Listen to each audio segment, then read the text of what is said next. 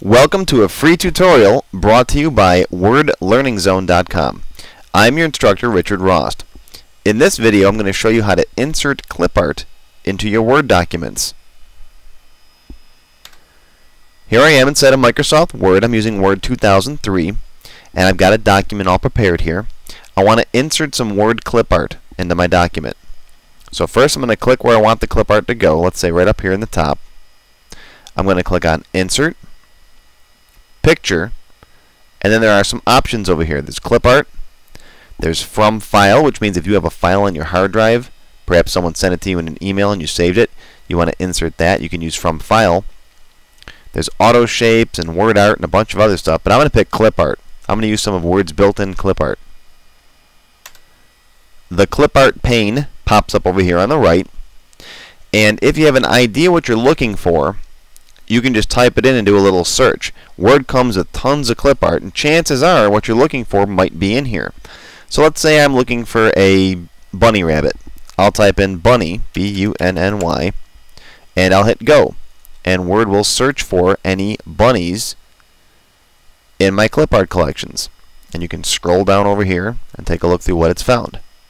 There's a whole bunch of bunnies in here. So let's go up to the top here, and I'll pick one of these bunnies.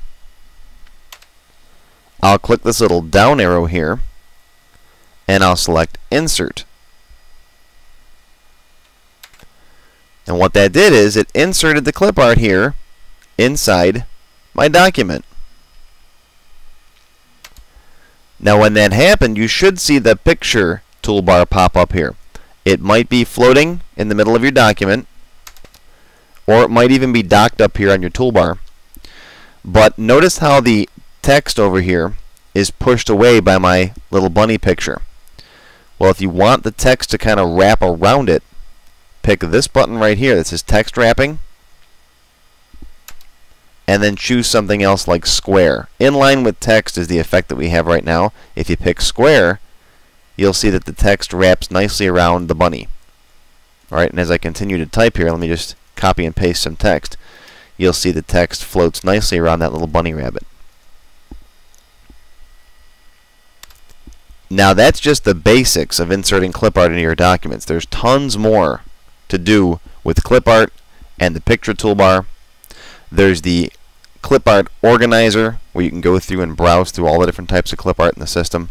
And I covered graphics, including inserting clip art and word art and auto shapes and graphics files you might have your, on your computer. I cover all that in my Microsoft Word 102 tutorial. And you can find out more information about my Word 102 tutorial on my website at wordlearningzone.com.